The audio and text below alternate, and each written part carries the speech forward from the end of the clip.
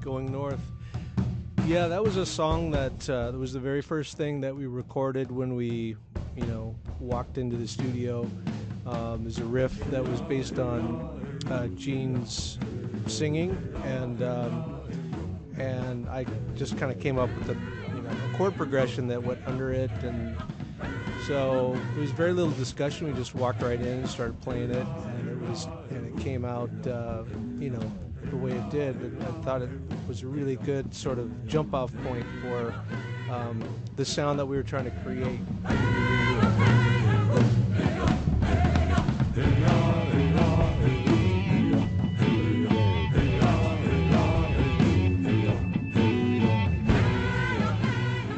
So playing playing it back was really interesting because Clarissa Rizal was you know she was the other singer that we were working with, um, one of the co-founders of the group, and she was you know hadn't really recorded this kind of music before, and the way that she felt the you know the drums like really pumped up loud in the mixing booth, you know, and it just hits you right in the chest, and and she was just like, oh my god, this is really this is really powerful.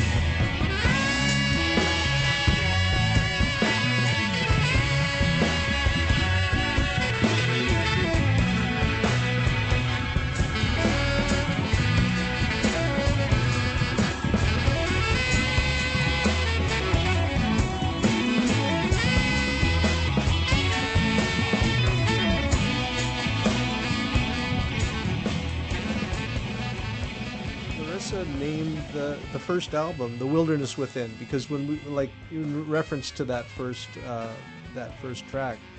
she felt like this was an awakening uh, uh, and a new way of of um, uh, presenting a traditional song, and that the power behind it, you know, what what she was feeling was something that was awakening the wilderness within, and so that's what we called the first album.